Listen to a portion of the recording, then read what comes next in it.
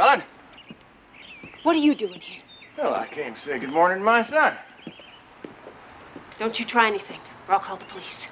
Well, can't a father see his son off to school? No tricks, JR. I mean it. Hey, son. Dad! How you doing, son? How you doing? Okay. Uh-huh. I missed you. Yeah, I missed you too. Sweetheart, you're gonna be late for your bus. Hey, what's going on here? Somebody been beating up on you? It's nothing. Well, it doesn't look like nothing to me. I did a real dumb thing at school. Opened the door in my face. Yeah. Have your teeth been checked? They're okay. Well, I hope so. Otherwise, somebody's gonna get sued.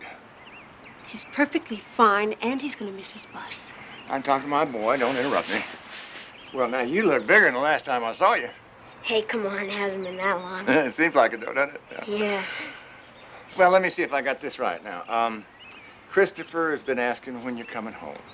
And your grandma and Clayton send their love, and so does Bobby. And, uh, well, I guess you know I'm back home at Southfork. Yeah, Chris told me. Yeah. Oh, that's great. You don't realize how great it is until you've been away for a while. JR. Huh?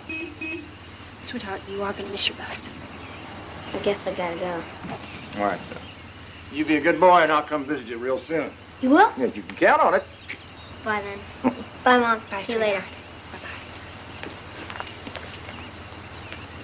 You let me know the next time you're coming out here.